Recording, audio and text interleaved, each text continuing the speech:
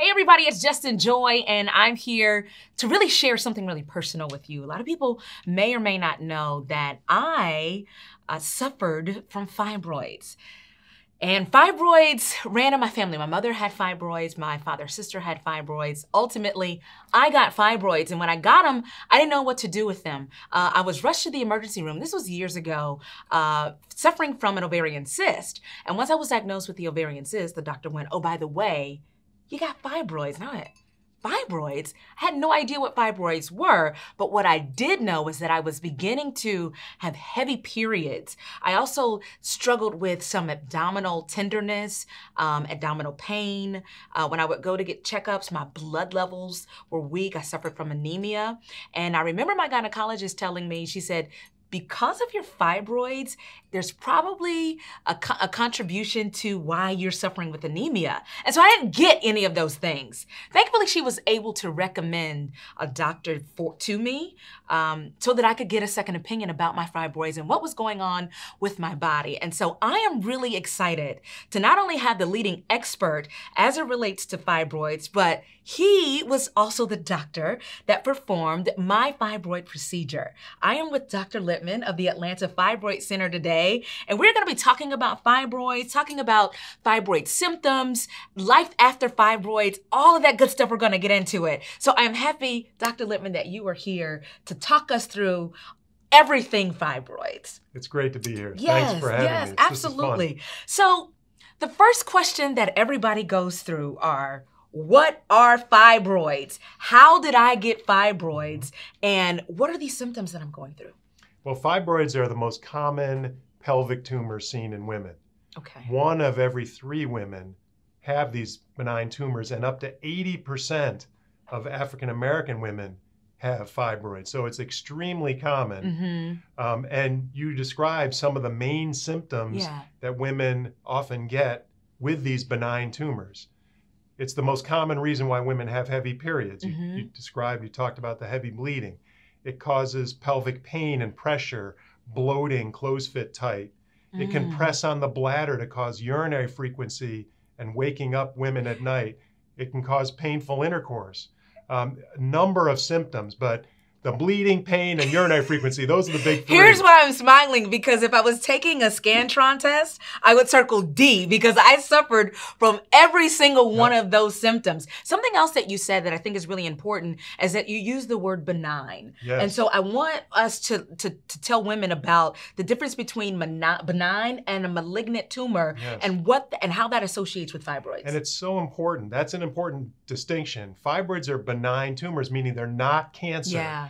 And yet, it's the most common reason why hysterectomy is performed in this country. Mhm. So that is a disconnect. We shouldn't be doing such extreme measures. Hysterectomy is the complete removal of the uterus from a woman for benign disease, but yet we've been doing that forever.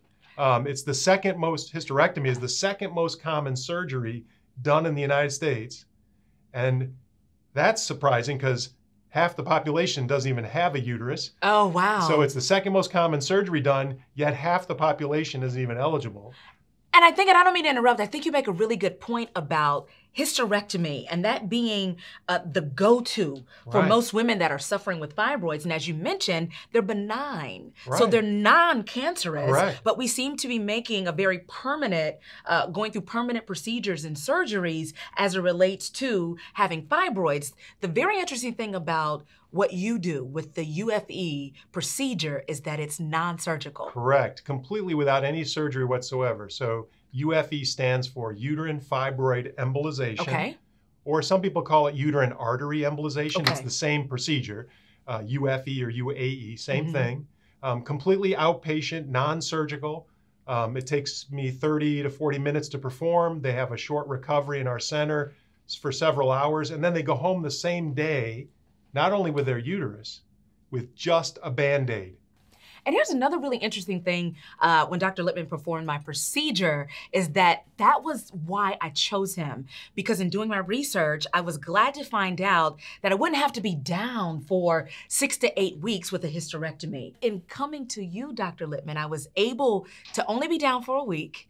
Uh, I took an extra like three days because I kind of wanted to relax, but Dr. Lipman was able to assure me that I wouldn't be down for longer than a week and a half, and I was able to walk out of your office with just a tiny incision and a band aid. Right. So it didn't take me very long. Conversely, though, hysterectomies for women, and I don't think they, they realize this a lot, is that you're down for much longer and you're losing a vital organ in your body. Absolutely. That's the, that's the real important message is one, we don't have to take out uteruses for benign disease. Yeah. Second, the uterus has a lot of important functions for women besides bearing them children. Mm-hmm. Oftentimes you'll hear, well, if she's done having her kids, she doesn't need her uterus Yeah. anymore, just take it out. Yeah. No, there are a lot of important functions. It's important for a woman psychologically. It's important. A number of women struggle psychologically, like a man being castrated Ah, after hysterectomy. Makes sense. Sexually, there's a lot of sexual dysfunction, and it's embarrassing. People don't like to talk Yep. about it, but they're changed sexually. There's a lot of bone loss. There's Mm. urinary leaking. You take this big fibroid filled uterus out of the pelvis, and it weakens the pelvic floor. Now they're leaking urine. And these are young women. Remember, the average age is 39 Wow. for hysterectomy in this country. And we've seen, unfortunately, far too many women in their 20s have already had a hysterectomy. So while it's tragic for any woman, in my opinion, Yeah. to go undergo hysterectomy for fibroids, it's particularly tragic when we hear about these very young women. Yeah. So we're here to let you know that hysterectomy does not have to be an option for you. Dr. Lipman is here from the Atlanta Fibroid Center, and we're talking about UFE. And so, as it relates to UFE, tell everybody what that means. When they hear UFE, uh, uterine fibroid embolization, what exactly is that process? What's happening there? What we want to do is we want to get access into each of the uterine arteries separately and deliver these tiny particles that are sized specifically for the fibroid blood vessels. So we can put this little tiny catheter, it's the size of a piece of spaghetti, and we can negotiate it one at a time into each uterine artery separately. Um, there, the uterine artery branches like a tree, getting smaller and smaller branches. The fibroids are the leaves of the tree. I know what size those tiny branches are. And as I said, I can flow direct these particles to block those tiny vessels. Without a blood supply, the fibroids will soften and shrink. And as that happens, the woman's symptoms go away. So she gets the relief of symptoms. She goes home the same day with a band aid, gets avoids the risks and long recovery of an operation, and importantly, she gets to keep her uterus, not lose it. So here's something else that's really important. And I know it was really important for me because when I had my procedure, I was in my late 30s, but I was single and I never had any children. And so I know a lot of women come to you Yes. and they talk about fertility Yes. and their ability to be able to still, still bear children. And so tell everybody, will they be able to still have a child with the UFE procedure? Yes. The simple answer is yes. It's a longer discussion Yeah. That takes more discussion, Yeah. but the simple answer is yes. We've seen a number of women have children after UFE. I've had Mhm. three sets of twins Oh, born after that. wow. And the births are typically full term and vaginal versus if you have the surgical myomectomy, which is cutting out some of the fibroids surgically and then sewing the uterus back together. Those that's another issue with those patients if they get pregnant have a child, they must have more surgery, a Mhm. C-section. You Mhm. can't have a vaginal birth with a myomectomy. Our patients typically have vaginal births all the time.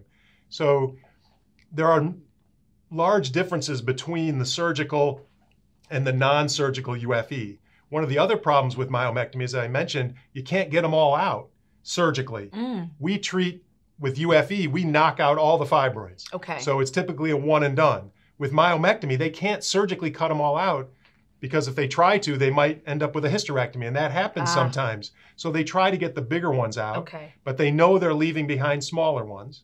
And those smaller ones Mm. grow, and within three, four, five years, they're back. They're not back. It's ones they didn't take They out didn't take originally. out, Yeah.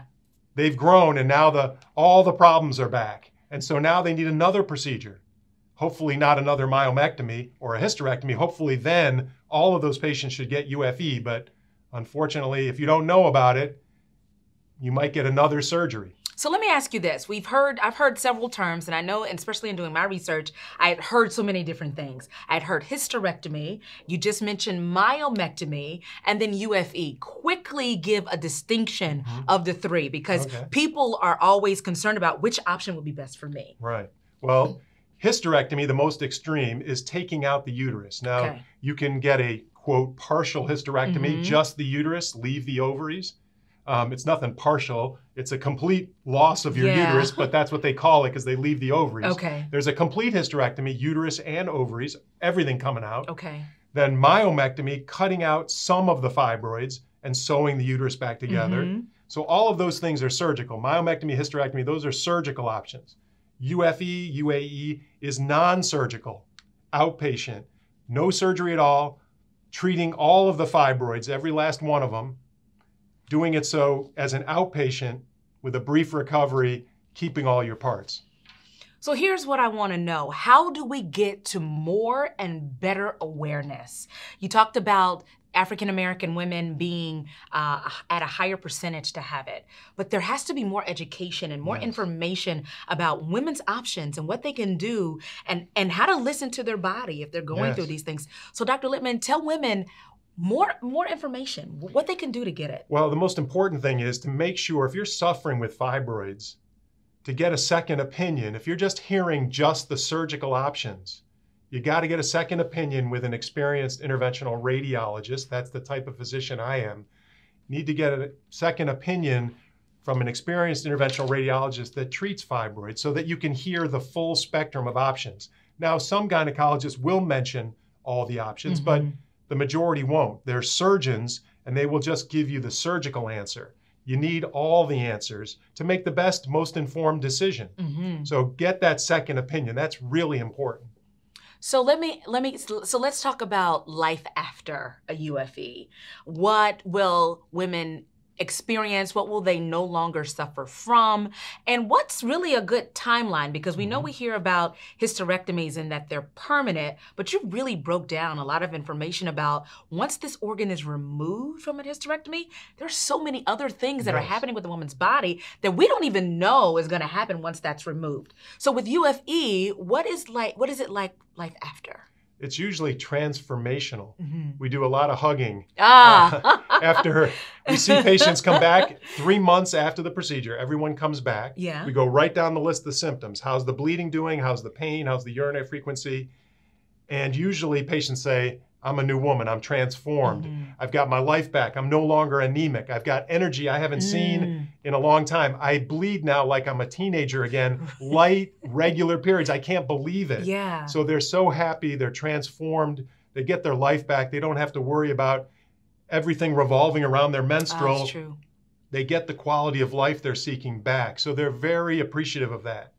And so that's great. I mean, that's by the three month follow up. Now they'll see those changes progressively over weeks to the three month visit. Mhm. They'll see it before I see them. But if if you can tell you're better at that three month visit and you see on the imaging, we get a follow up MRI, if you see that all the fibroids are dead, likely I'll never see them You again. See them again. And that's good to know because when I came to you, Doc, and you shocked me when you told me this, right? And I don't even know if you remember telling me this, but when, after you did my exam and I did my MRI, you told me that I had the uterus of a six month pregnant woman.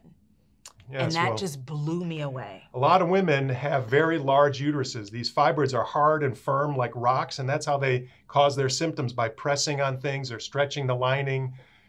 That's how they cause their symptoms, and they will enlarge a woman's uterus just like a pregnant woman.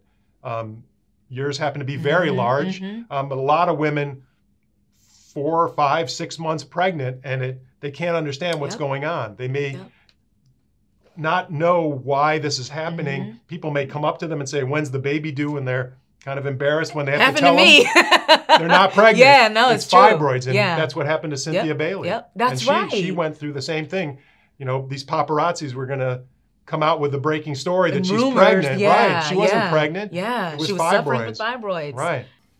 So here's something else I really think is important. A lot of people think that UFE is experimental, it hasn't been around, but you've been practicing for a really long time. Yes. And as it relates to that, insurance. People want to know about Mhm. how can they afford, you know, to to, to pay for a procedure Sure. like this. So, does insurance cover? UFE? Absolutely. And UFE is not considered experimental or investigational. It is Yeah. a standard medical practice Mhm. that's well proven, safe, and effective. We've got t- almost 25 years of medical data to support. Yeah. So not only your testimonial, but thousands and Yeah. thousands of other women have experienced the Yeah. same thing that you did. Um, and so, yes, all insurances cover it, um, including Medicare and Mhm. Medicaid, and we take all insurances. Um, so that is a really important because oftentimes women hear about UFE for the first time Yeah. and they wonder, is this going to be covered? Absolutely yes. Yeah, yeah. And and it was for me. I didn't pay a dime. I went through all of the pre pre prep procedures, but as it relates to insurance, I paid no money. So insurance does cover it, and that's a good uh, piece of information to have. And so, ladies, if this sounds like you, if it sounds like or you felt the abdominal pressure and pain, if you felt and you know about heavy periods, as Dr. Lipman mentioned, that your life evolved around your heavy periods, it no longer has to be you. You no longer have to suffer. There is an answer, and it's the UFE procedure. And I highly recommend it. I highly recommend you do your research, but more importantly, Dr. Lipman from the Atlanta Fibroid Center is the leading expert in the country as it relates to this. Dr. Lipman, tell them where they can find you, phone information, website, Sure. etc. Well, there are a number of ways people can find us. They can find us on our website, atlii.com. We have a YouTube channel, the Atlanta Fibroid Center. So if they go to Atlanta Fibroid Center on YouTube, there are over 100 videos on fibroids, UFE, all sorts of information. Uh, we have an Instagram page, dr underscore Lipman, L I P M A N. So if they're more into Instagram, they can do that. Uh, Facebook, there are a number of ways to find me. If they want to call and, and book an appointment and talk to us directly, that number is 770 953 2600. And so here's a lasting uh, point that I really think is really neat. If you if you are a social media person, uh, they have a cool hashtag. It's called "Don't Lose Your You," and so that also relates to yourself. But it also relates to your uterus. So Right. make sure you hashtag don't lose your you and find out more information at AtlantaFibroidCenter.com. We'll see you next time.